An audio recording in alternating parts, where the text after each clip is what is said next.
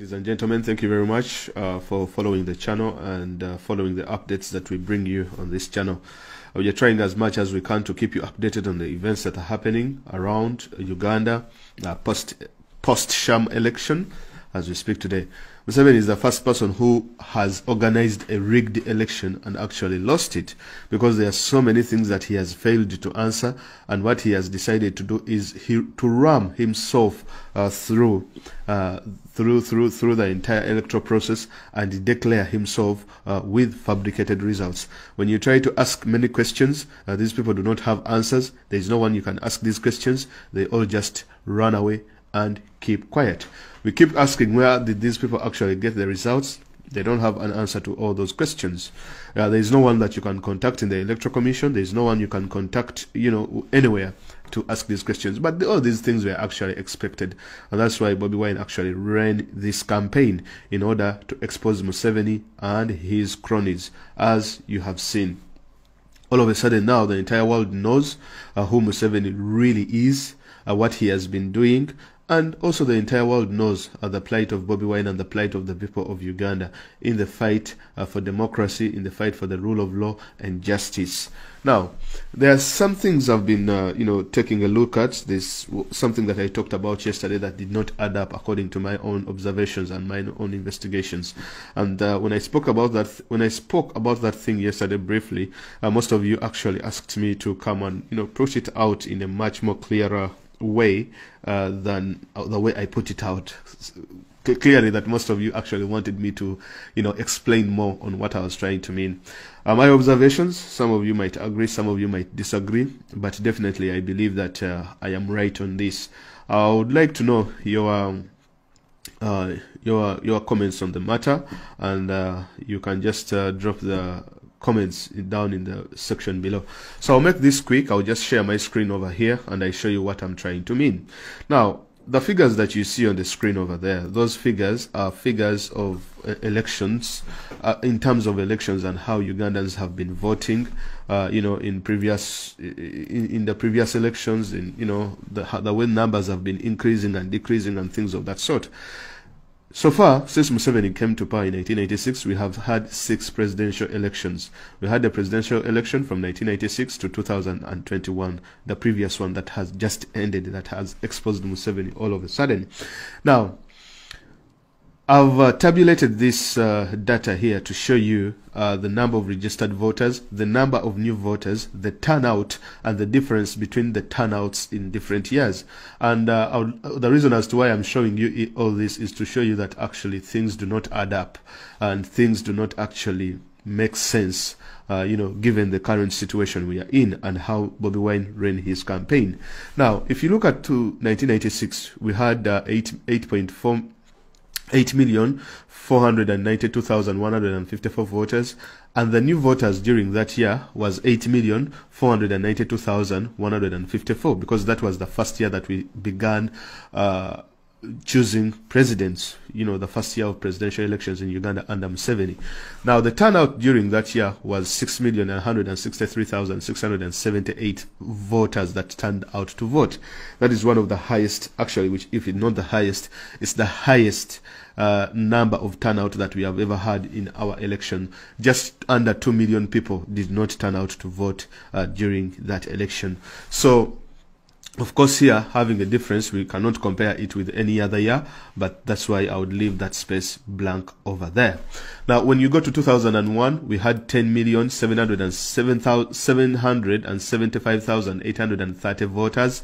And out of those voters, we shall try to, not try, but we shall uh, subtract the number of voters in 2001 as well as the number of voters in 1986. And when you get the difference between these two figures, it gives you the number of voters for that particular year. So the number of voters for, the number of new voters in 2001 is 2,280,000. 3,682,000 voters. So those were the new voters in 2001 from the previous voters in 1986. Now, the turnout was 7,576,144 voters that turned out to vote, meaning that the number of voters in 1996 and the number of voters in 2001 increased. But we have to know it increased by what figure. So it increased by 140,000 1,412,466 voters. So it means uh, 1,412,000 uh, 400, 400 and 1 million uh, 412,466 voters more voted in 2001. Now, come to 2006, okay? The number of voters that year decreased. It was 10,450,788, the number of registered voters, compared to 2001, whereby it was 10,775,836 voters. So what this means is this, that it decreased, but by what figure? So it decreased by 325,048 uh, voters. And when we look at the turnout, also the turnout decreased in 2006. Of course, this is attributed to so many factors.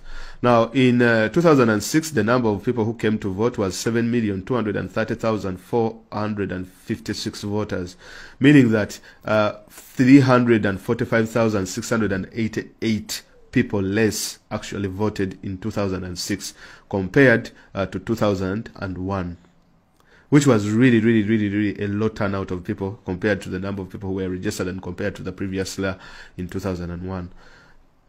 Move forward on 2011, the number of voters increased, which was 13,954,129 people that, turn, that were registered to vote. Out of those people, if you get the difference between 2006 and, uh, sorry, between uh, 2011 and 2006, it means that 3 million, uh, 3.5 million, 3,341 people were new voters were registered. Now, the turnout, the number of people who came out to actually vote was 8,272,760 uh, voters meaning that the difference between the number of people who voted uh, in uh, 2011 and 2006 increased by 1 million uh, 42,304 uh, voters. So 1 million more people voted compared to the previous election. 2016, uh, 15 million voters, 15 million 277,198 uh, voters registered to vote. And out of those, if you get the difference between uh, 2016 and 2011, uh, you will find that 1,323,069 people re more registered to vote in the elections. Now, in those elections, the turnout was 10,329,131 voters who turned out to vote. Now, when you look at the figure of the people who turned out to vote in 2016, and uh, you find the difference, how many more how many more people actually registered, how many more people voted, meaning that the number of people who voted, uh, more people actually voted in 2016, which is 2 million uh, 56,372 uh, more people actually voted. Now that is very interesting because when we come to this year, 2021, 18 million people registered to vote, which means that 2,826,405 more voters registered to vote. And for that matter, what it means that the, uh, the Electoral Commission says that the turnout was 10,359,479 people who turned out to vote according to their data. Now, when you get this figure and find the difference between 2021 and 2016 to get the number of how many more voters actually voted in this election, this is what is very, very heartbreaking that only 30,000 348 more people actually voted. This is it. Because 2016 was 10,329,131 people voted, right? Here. In 2021, 10,359,479 people voted there. Ladies and gentlemen, how do you explain that? That just only 30,348 more people voted in 2021. Given the number of voters had increased by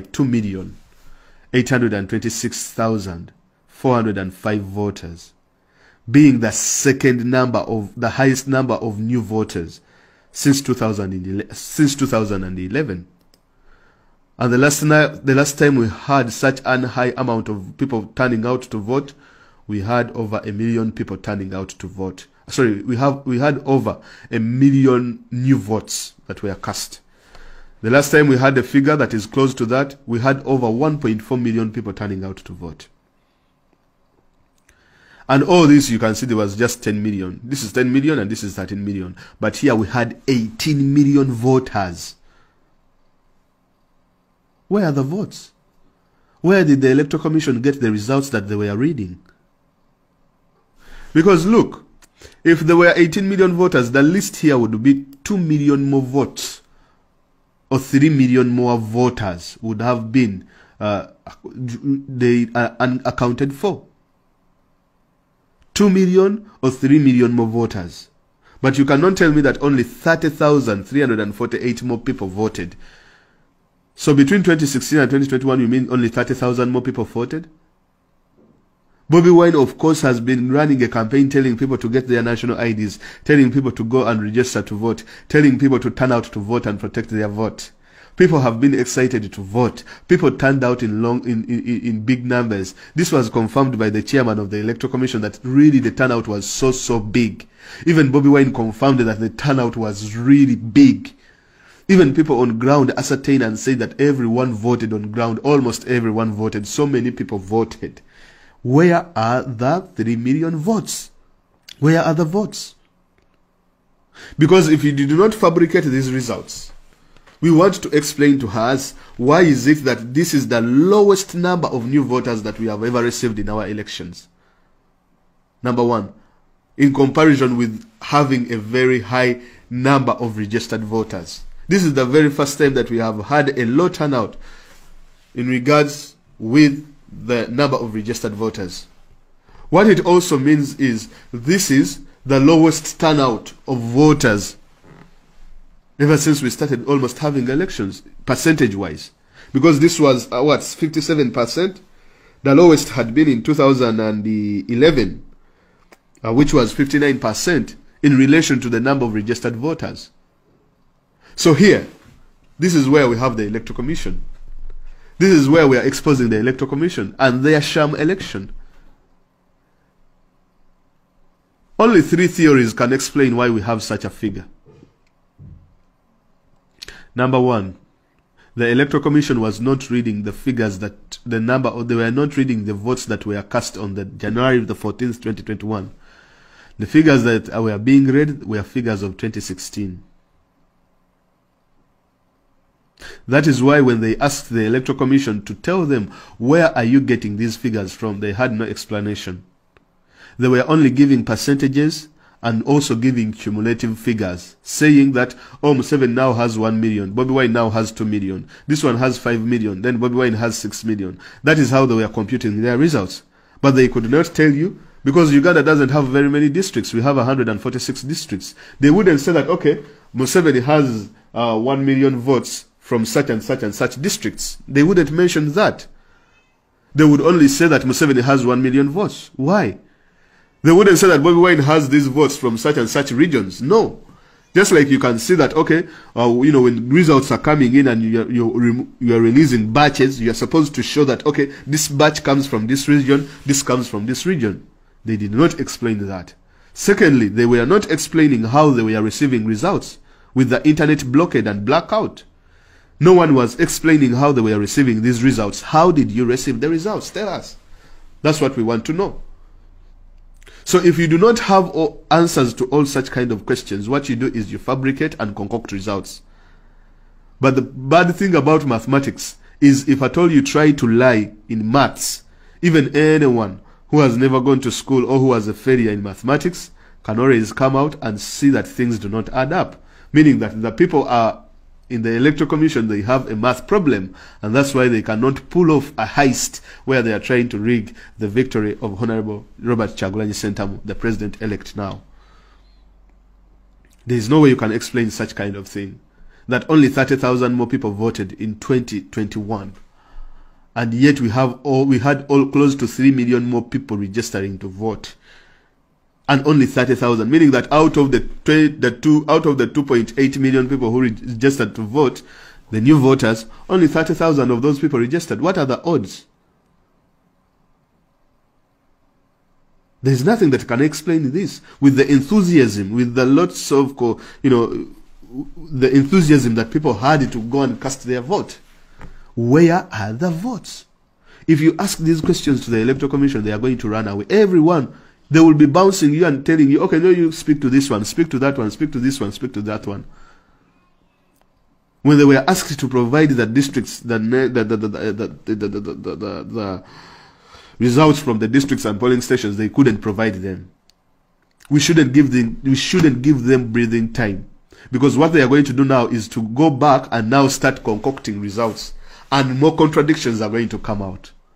That is what is going to happen because most of us are now following your figures. Whatever you put out there, we are following the figures. Because things just don't add up at all. That is why you see whenever they were releasing these results, they were always contradicting themselves. The percentages were not matching, the votes were not matching, and so on and so forth. So ladies and gentlemen, that is the data there. Tell me what you think. If you have any questions uh, to explain about these issues, just drop it in the comments below and I'll be able to explain to you. I'll be letting you know about the updates that are coming on here and there, and then we shall see uh, what is happening, and then uh, I'll, I'll, be I'll be um, I'll be I'll be informing you on the new updates because so much information is coming in, and then uh, we need to keep track. But also, let us not take our eye off these guys because when we close our eyes and not pay attention to most of the things that are going on, that is when they are trying to cover their tracks. We shouldn't let them cover their tracks. We should make it we should make it hard for them to cover their tracks, as well as fighting on other battlefronts. Let us Ugandans should always should should should should protect their victory. The people people power uh, NUP uh, and all the supporters of Bobi Wine. We should stand up and protect our victory because the victory is being rigged and is being taken away from us. So thank you very much for listening. Subscribe, share the video. I'll be coming back more. I'll be coming back with more updates on what is going on.